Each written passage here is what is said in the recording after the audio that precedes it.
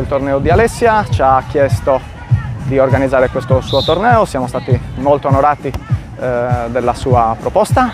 Oltre all'aspetto diciamo così agonistico vorrei sottolineare questa è soprattutto una, una festa, una festa in cui stiamo andando a festeggiare lo sport oristanese, la pallavolo oristanese e soprattutto la, a festeggiare una campionessa di livello mondiale che comunque abbiamo, abbiamo ad Oristano.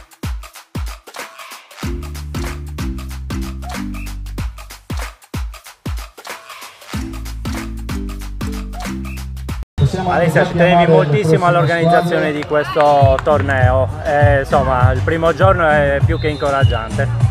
Eh, direi proprio di sì, eh, l'abbiamo organizzato anche un po' eh, di fretta per inaugurare questi campi perché sono stati eh, progettati, pensati abbastanza tardi. E alla fine ce l'abbiamo fatta, sono contenta e davvero una bella cosa far muovere un po' lo sport eh, nella regione ogni tanto.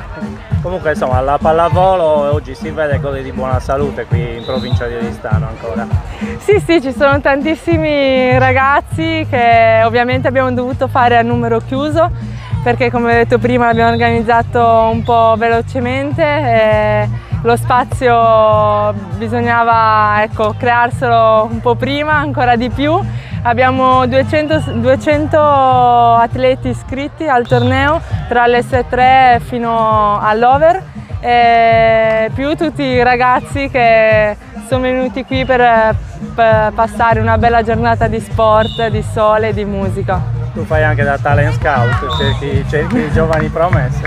Sì, sto dando un'occhiata in giro, vorrei girare più i campi in questo momento, però sto firmando e facendo le autografi e eh, le foto e poi quando mi libererò un po' ecco, andrò in cerca di, di qualche talentino.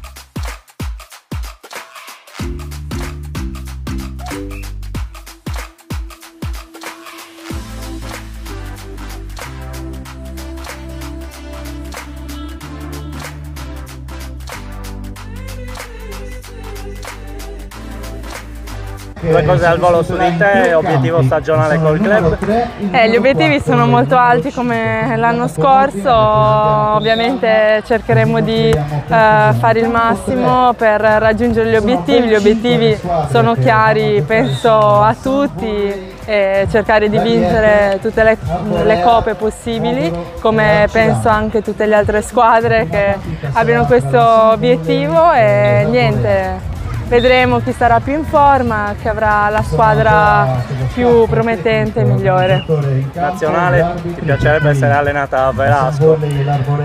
Penso che beh, io non ho mai avuto problemi con nessun allenatore o nessune, nessuna giocatrice, quindi io alla fine Ecco, chi arriva eh, andrà bene, eh, io mi adeguo.